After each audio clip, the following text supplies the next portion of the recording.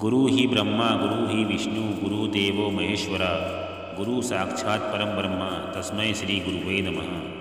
अर्थात गुरु ही ब्रह्मा है, गुरु ही विष्णु है, गुरु ही भगवान शंकर है, ऐसे गुरु को मैं प्रणाम करता हूँ। दोस्तों, क्या आप सत्संगी हो? आपने किसी गुरु से नामदान अर्थात गुरु मंत्र लिया है, यदि लिया है तो ये वीडियो आपके लिए बहुत महत्वपूर्ण है। इसलिए आपसे रिक्वेस्ट है, इस वीडियो को पूरा एंड तक देखिएगा। दोस्तों, नामदान अर्थात गुरु मंत्र लेने के बाद 80 परसेंट लोग ये गलती अवश्य करते ही हैं। और ये गलती करने के बाद आपके गुरु बनाने एवं गुरु मंत्र लेने का आपको कोई लाभ नहीं मिलेगा। तो दोस्तों, वो गलती कौन सी है जो गुरु मंत्र लेने के बाद अधिकतर लोग कर रहे हैं? तो कहीं आप भी तो ये गलती नहीं कर रहे हो।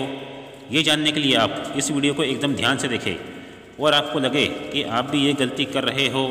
तो आप अपनी गलती को सुधारें ताकि आपको गुरु मंत्र लेने का पूरा लाभ मिल सके।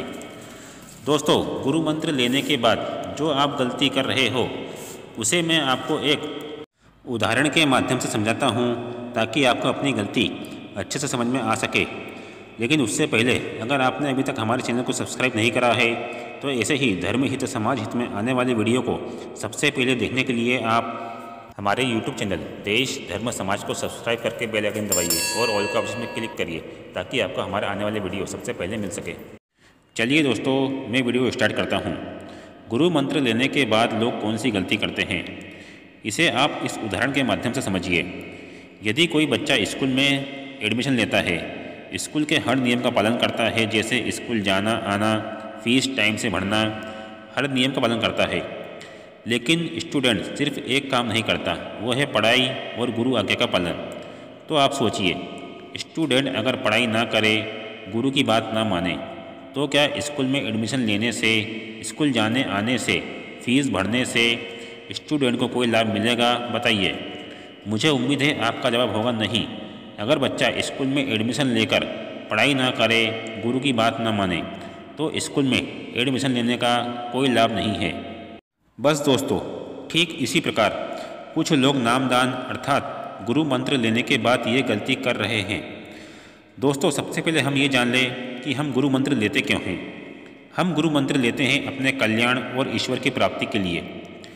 और जब हम गुरु मंत्र लेने के बाद गुरु आज्ञा का पालन करते हैं, जीवन की हर बुरी आदत को छोड़कर अच्छाई का मार्ग अपनाते हैं, गुरु के बताए गए नियम अनुसार हम अपना जीवन जीते हैं। तो हमें गुरु मंत्र लेने का पूरा लाभ मिलता है और हमारा कल्याण भी निश्चित होता ही है। लेकिन कुछ लोग सोचते हैं, बस गुरु मंत्र लेने से, गुरु के पास जाने आने से, बस इतने से ही हमें गुरु मंत्र का लाभ मिल जाएगा और हमारा कल्याण हो जाएगा। तो मैं आपको बता दूँ, आप किसी गलत फहमी में ना रहे। आपको गुरु मंत्र लेने का कोई लाभ नहीं मिलेगा, क्योंकि जिस प्रकार स्कूल में एडमिशन लेने के बाद स्टूडेंट पढ़ाई ना करे, गुरु की बात ना माने तो उसे स्कूल में एडमिशन लेने का कोई लाभ नहीं मिलेगा। ठीक इसी प्रकार, गुरु मंत्र लेने के बाद आप गुरु आज्ञा का पालन नहीं करते हो, गुरु की बात नहीं मानते हो, मनमुखी जीवन जीते हो तो आपका गुरु मंत्र लेने का कोई लाभ नहीं है। दोस्तों, अगर आप भी ये गलती कर रहे हो आप भी गुरु आज्ञा का पालन नहीं करते हो, मनमुखी जीवन जीते हो तो जल्द से जल्द आप अपनी ये गलती को सुधारिए, ताकि आपको गुरु मंत्र लेने का पूरा लाभ मिल सके।